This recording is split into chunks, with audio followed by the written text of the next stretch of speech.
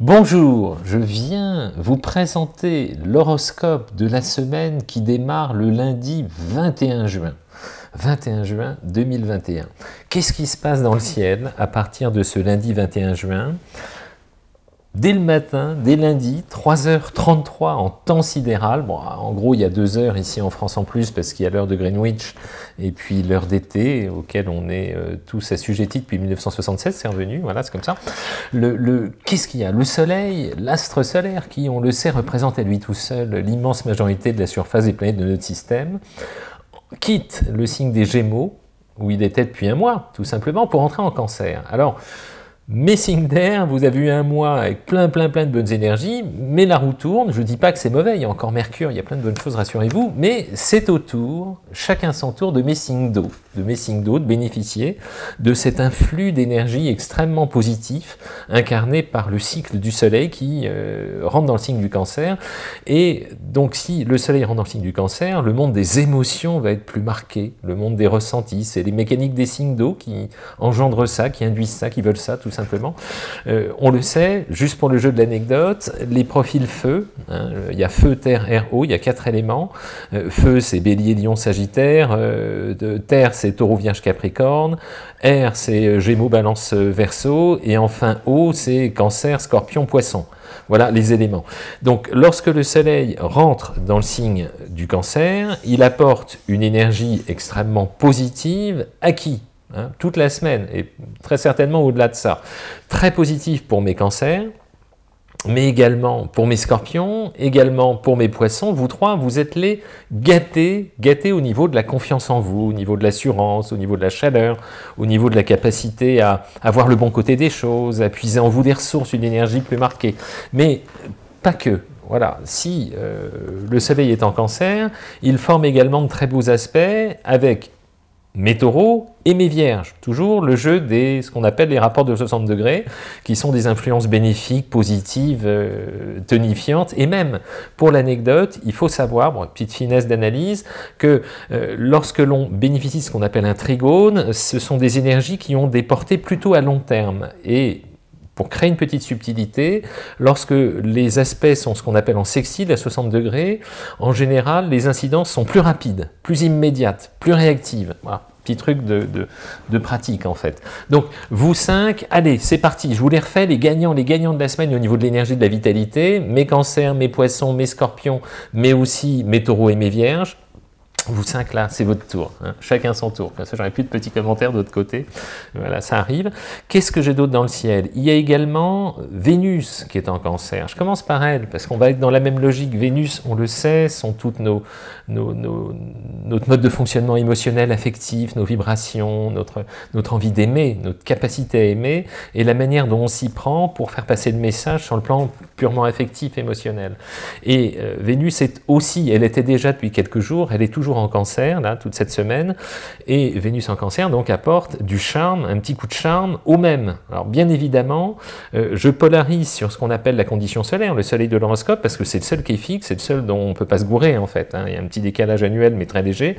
Et euh, quand je dis que Vénus est en cancer, bien évidemment, si vous avez euh, Vénus dans un signe d'eau, bien évidemment, ça va jouer un petit peu plus, ça va donner un petit cran de charme supplémentaire.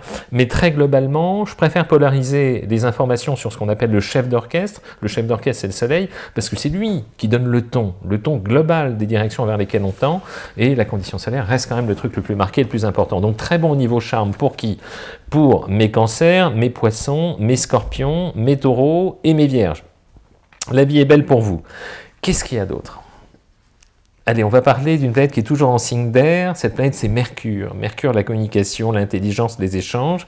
Mercure, actuellement, étant Gémeaux, hein, il y est, il y a depuis un bout de temps, il avait une marche directe, il a refait une marche rétrograde, et là, à partir de mardi, mardi, il reprend sa marche directe, donc il repart plein pot. Mercure, l'intelligence, le mental, les échanges, la communication, en Gémeaux, signe où il est euh, extrêmement heureux chez lui, en maîtrise, dit-on, euh, repart dans ce signe des Gémeaux et réactive la communication et les échanges pour qui?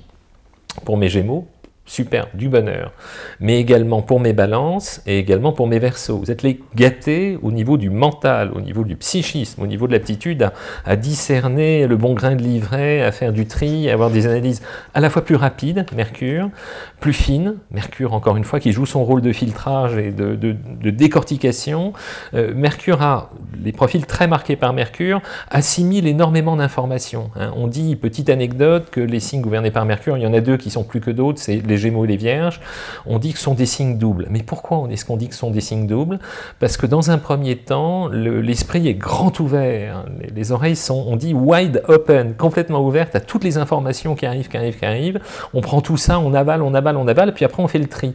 Et lorsque c'est cohérent, tout va bien, mais lorsqu'on a l'impression d'avoir avalé des informations, de les avoir validées sans que ça soit vraiment euh, en harmonie avec la façon dont on fonctionne et que ça ne corresponde pas à notre façon de synthétiser l'ensemble, à ce moment-là, on, on fonctionne à l'envers en disant ben non, finalement non, mais ça peut arriver le lendemain. C'est pour ça qu'on dit qu'on est souvent des signes doubles, nous les mercuriens, parce que dans un premier temps, on dit oui à tout avec des grands yeux et des grandes oreilles ouvertes, et puis dans un, deuxième temps, on dit ah non, non, ça, ça marche pas là. Hein, voilà, ça, je suis pas d'accord.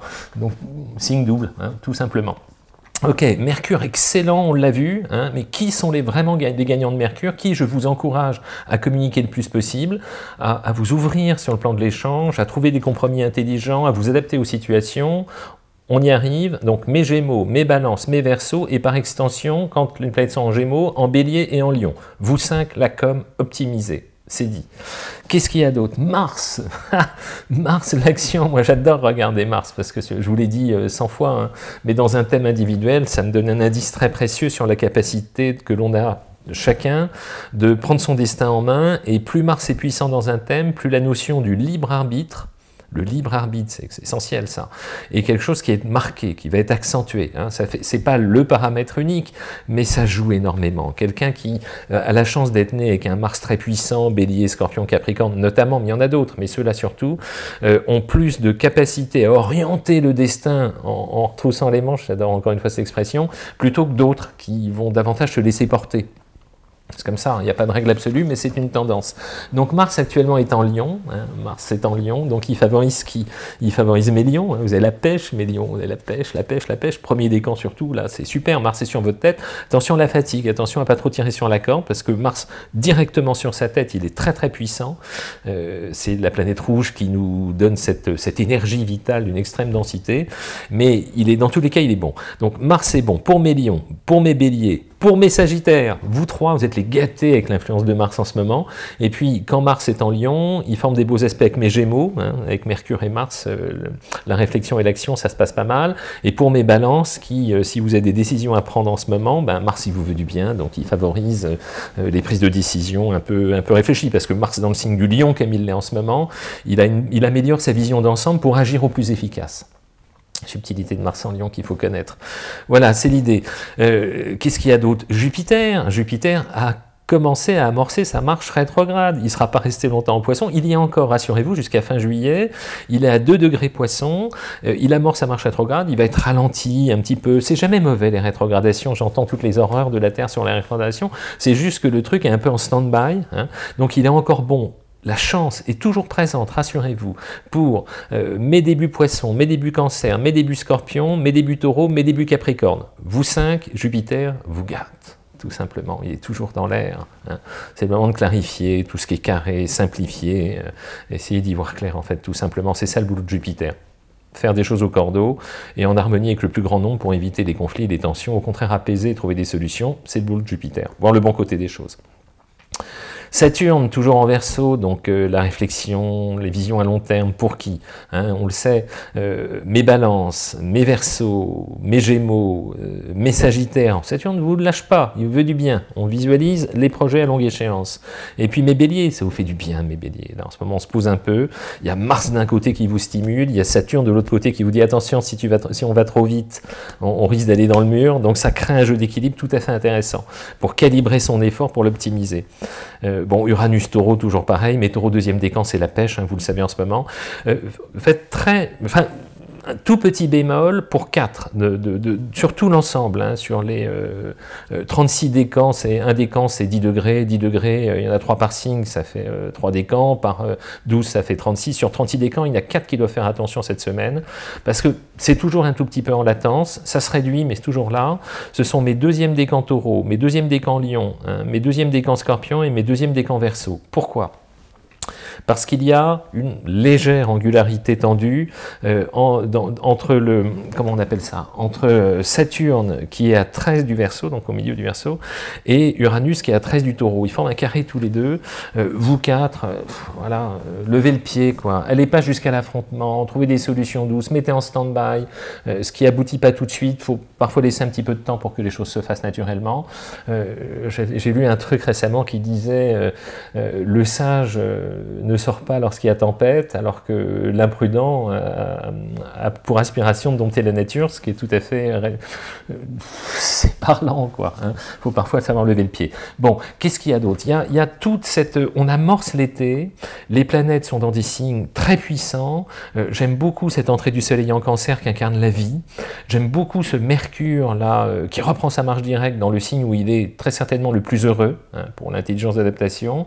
J'aime beaucoup Vénus, qui est dans ce signe plein de délicatesse qui est le cancer. J'aime beaucoup également Mars en lion qui y puise une puissance, une énergie, une force euh, d'une étonnante densité parfois. Les Mars en lion, ils nous font des trucs euh, bluffants. Quand ils décident de, se prendre en main et d'être actifs, sont des moteurs extraordinaires.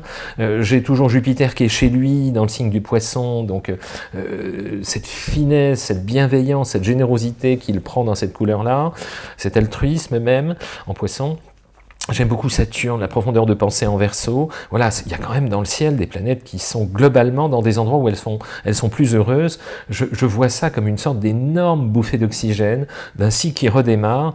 Et puis, euh, je vous enregistre cet horoscope pour lundi, mais aujourd'hui on est jeudi, et jeudi c'est le premier jour où on peut sortir sans masque.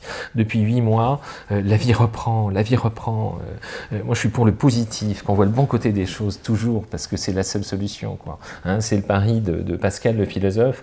Hein. Euh, Pascal disait, moi je crois en Dieu parce que j'ai tout à y gagner. Voilà, c'est tout bête. Hein.